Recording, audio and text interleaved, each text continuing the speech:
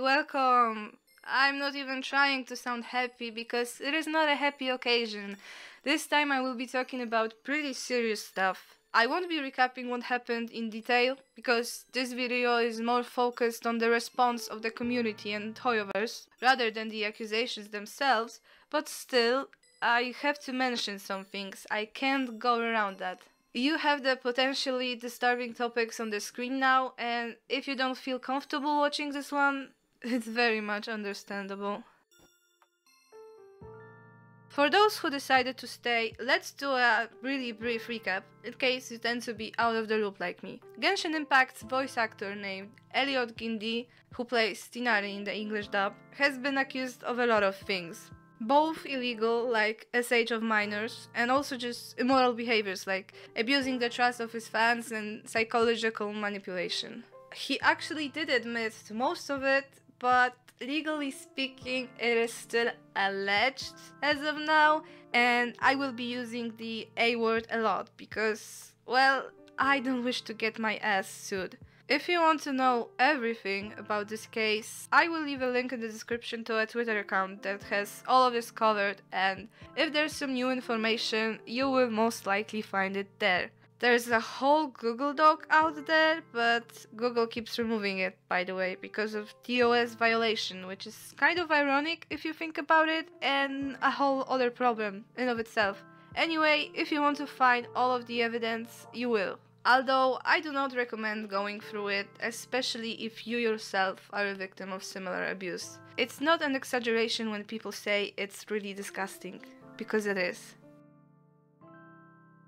Alright, I'll start with a quick response to the argument of, but they lied about their age. It is a bullshit argument, thank you. Next topic, I mean, but no, seriously, you don't have to be an adult nor be famous to imagine a scenario in which you talk to someone you don't know on the internet. We all do this sometimes, right? Now, imagine you have fans. Those fans will be looking up to you, obviously. Some may even have a crush on you. And it's not something new, this has always been the case, like your grandma was kissing James Dean's picture in a newspaper. Times have changed, and now you are in your celebrity crushes Discord server, their live chat or their DMs. All of those are much more dangerous because now you don't have to go to Hollywood and stalk James Dean to talk to him. Now you can much more easily be taken advantage of, or take advantage of someone. And as a 24 year old, there is no way you don't realize that. It's not like he's an 80 year old grandpa with dementia using the internet for the first time. Dude, if you are in any way influential, and especially if your audience may be considered young in general, you just have to confirm their age. It should be like washing your hands before you start cooking, and that's only if you choose to even engage in romantic activities with a member of your audience who um has a parasocial relationship with you and there's clearly a power dynamic. Hey, hi, hello, it's editing me, and I just wanted to add that although a lot of research has been done on parasocial relationships, there's barely any about romantic relationships with quote unquote celebrities of any kind with their fans. I guess it's because it's not that common, so it's hard to study that in general. Like, most famous people just date other famous people. And also, influencers, the modern celebrities, are a new thing as well. So we kind of don't even know what challenges couples like that may face, even when they are both adults. So the next part is a bit speculative, based on my own experience and my own parasocial relationships, because they're like VPN ads. Barely any internet users are free of them. Okay, that's it. Over and out. Now, I don't think it's inherently wrong to flirt with your audience. Streamers will jokingly flirt with chat all the time, but that's kind of anonymous. And I don't find anything wrong with that except the fact that someone might take it too seriously, but that's the case with every joke, every interaction, even saying how are you to someone. They may feel you are closer than you actually are. Flirting with someone in DMs though is a little bit tricky, and by a little bit I mean a lot, but I don't think it's always wrong either. Play Ed Sheeran.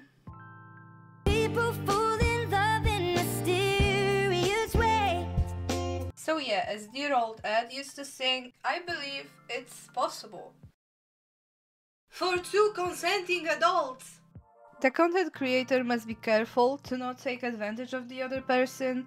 That person must know what they're getting into, and both of them must be self aware enough to navigate this complicated dynamic. I think it goes without saying that it definitely wasn't the case here. Like, none of the above were true. By the way, apparently some people think asking for an ID is weird and quote unquote kills the mood. Wow, maybe asking for consent in general is not romantic enough? I won't even get into that. You're not stupid, it's obvious how I feel about it. To sum it up, even if someone lied about their age, although from what I've seen, it seems like here those teens were talking about it, slash had it in their bio, it's still the adult's fault for not confirming it. The adult is supposed to be the responsible one. That's it, there's no arguing this one. So that's the situation we have. If the evidence is true, and he confirmed at least screenshots to be true, Tighnari's English VA has been grooming his fans as young as 14, dirty talking with them, asking for you know what kind of pictures, getting naked in front of them. Like, what the Insolent. fuck? What's even worse, it seems a lot of victims have been struggling mentally, and this man knew it. Like, if just a simple fact of abusing your position of power wasn't enough. And still, with all of that, some parts of the community decide it's those teenagers' fault. What's wrong with you? I'm not censoring this, they wrote this publicly. Yo, editing me again. Before recording, I took a lot of screenshots of the comments that were the main reason this video exists actually, and I was slightly pissed at the time. But now I decided to censor them in the end. After all, some of the authors may be 12 year olds for all I know, and I don't want to bully any individual in particular. Just wanted to show you there's a lot of people like that in this community. I also thought I'd spare forcing you to read all of them, so I will just show them in speedy mode and you can pause the video and read how many you want, if at all.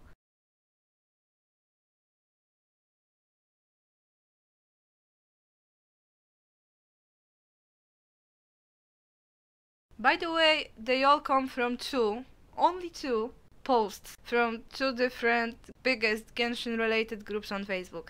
I considered going to other platforms, but one, Insolent. that I had enough. Uh, two, there's zero doubt in my mind that I can find similar comments anywhere else. There's a reason I don't have Twitter after all. So it's up to you whether you want to actively go looking. Over and out. And yes, I am myself constantly saying alleged. You don't have to take anyone's word for a fact. You don't even have to believe anyone. But if you think there's no evidence, wait for it. That's true, some percentage of allegations turn out to be false. It's not very high.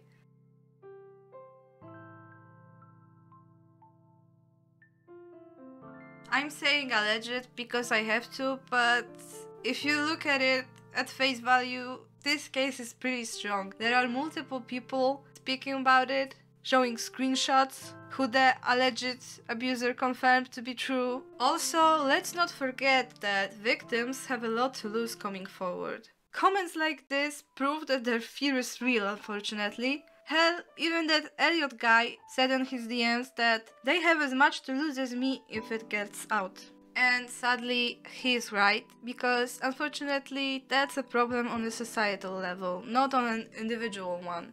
Remember, in this case especially, we're not only talking victims, we're talking victims who are minors. Personally, I choose to believe victims with caution.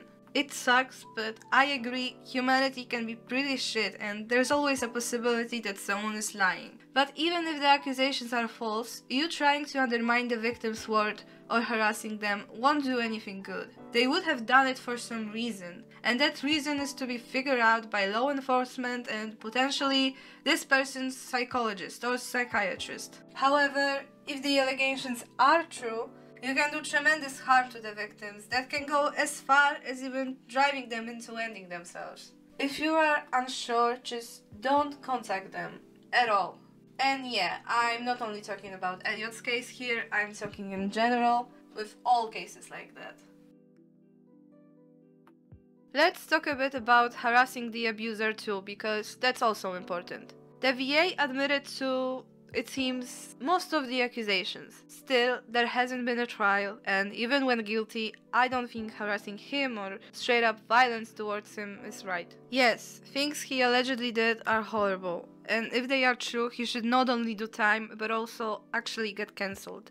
And I don't like cancel culture, but if there's ever a situation I would consider banishing someone from public space, it's cases like this. And I don't mean banning him from social media so he can't speak or something like that. I just mean not hosting him in a public space, like not hiring him as a voice actor. Or as an actor in general. I hope you know what I mean. Anyway, I believe we can judge someone's actions as awful and still see them as human, even if they are a bad person. I don't believe in mob justice, I also don't believe in telling someone to Roblox oof themselves. Ever. Even if they are, in your eyes, evil. And just to be clear, no, I am not defending the guy. I'm almost certain he's guilty, but that's just my opinion, alleged and everything. I also don't mean don't criticize the guy. I am constantly critiquing him in this video. What I deem as unnecessary are things mentioned in the comments that I can't show you because I am afraid of YouTube taking this video down. But basically it comes down to people telling that VA to Roblox oof himself or just describing their creative ways of what they would do to him if they met him. Another layer to this is I just see hyper focusing on a potential abuser as redundant. What's good in putting your energy into hating him? In my opinion, it's better to focus on the victims. Give them your attention because even a single I'm with you from a stranger goes a long way, and if they ask for help, try to deliver on that if you can. So, I titled this point in my script memes and Tighnari lovers. And I already cringe inside, so this section is going to be short. There's a fine line between reality and the game universe. I mean, for most of us, it's not that fine, but ironically, it's unreal how some people don't see that line at all. Like, some people are more concerned about Tighnari than about the victims. Tighnari, who is a set of pixels and I get that it sucks if you are used to a voice in the game and that voice will now be potentially changed, but seriously? Your personal comfort here is more important than the serious trauma of other people? And you'd rather keep the VA even if he's proven guilty because you like his voice. It, bruh, that's like witnessing a fatal car crash or something and being pissed because it made you late for school. And I say school, not work, because I choose to believe that these are mostly young people. I really hope so, at least. Some people are so out of it that for them the VA and the character just kind of merge into one. I think this state of thinking, state of mind, it's not something that we should inherently deem wrong because probably it's very possible that it's just a symptom of mental disorders or just troubled mind in general. This seems to have been the case with some of Elliot's alleged victims who projected their affection towards Tighnari onto his VA, and clearly is the case with some other people too who are now shocked because I can't believe Tighnari did that. Well, he didn't. He doesn't exist. Now, as I said, let's not blame people for being detached from reality because it's probably a symptom of something more serious. But we can still disapprove of their actions. An example of this is what I said earlier excusing the VA because you like the character, or trying to protect Tighnari, quote unquote, by discrediting the victims. This kind of behavior should be criticized. One other thing I don't think is right memes that make fun of victims or downplay the situation. Even if you could argue the intent is less malicious, I think memes like that endorse victim blaming, and I already talked about why that's wrong. By the way, special shoutouts to all those people who don't care so much that they have to announce it. Look at them telling us they don't care about other people's suffering at all. They're so edgy,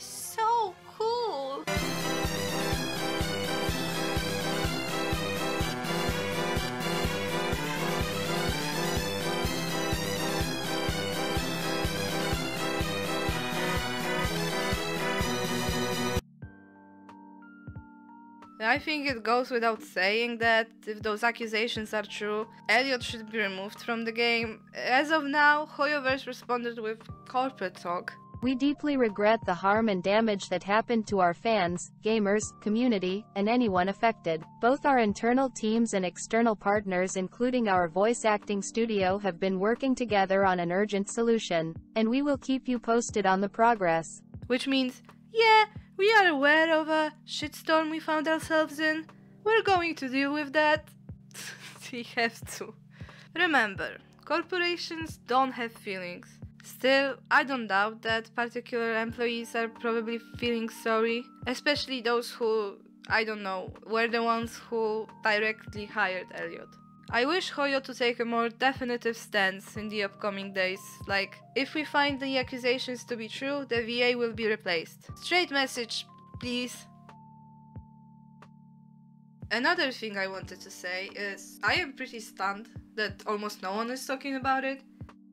Unless YouTube's algorithm is really screwing me over, but I don't think it's the case. I actively search for those videos. I mean, I get that only positive vibes on my channel attitude, or well, the fear of being sued, but I don't think avoiding the topic is the best approach. That's my belief though, and I am not dictating to other content creators what they should do. Some content creators spoke about it on Twitter or their streams, but I feel like topics like this deserve a video. Those will reach a wider audience, and I feel people need to be aware of what happened so they don't get misinformed. Additionally, and I say it from my own experience because I was groomed by my teacher, and also experienced SH multiple times, which sadly is not unusual.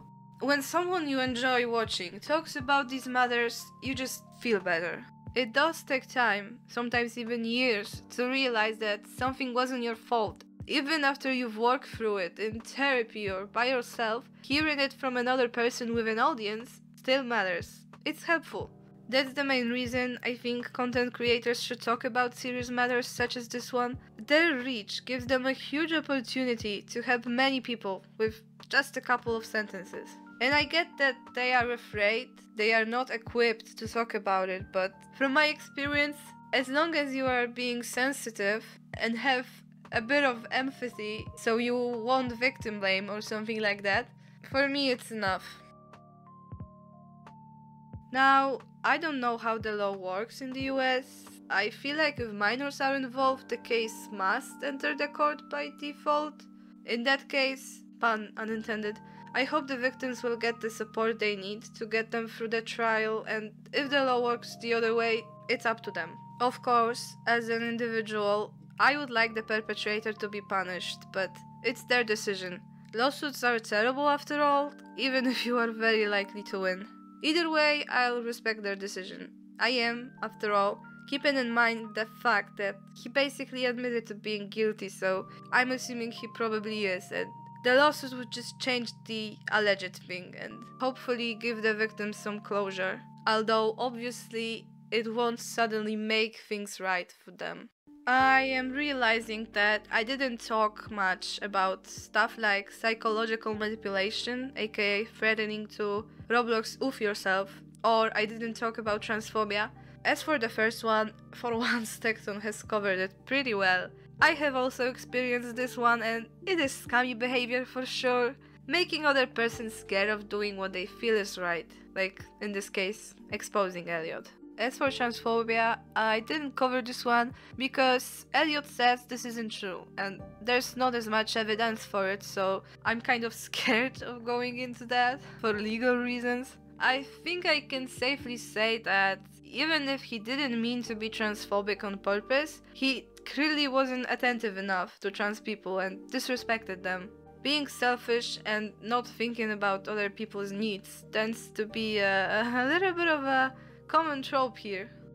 Alright, I think I've said most of what I wanted to say. Thank you for listening, and if you want, please do share your thoughts in the comments. There aren't many, so I read a lot of them. I may record a follow up video if we get new information, and if not, it will be in the pinned comment. I'm hoping for a legal case and jail time, but at this point, nobody knows what's going to happen, and I am not holding my breath. If you're a victim of SH or any abuse in general and you feel like you can't do anything, don't be afraid to reach out for help. I don't know about resources available in your country, but there's always a way. If you don't have friends, there are Facebook groups or Discord servers, and I'm sure you will find someone. Take care, guys. Bye.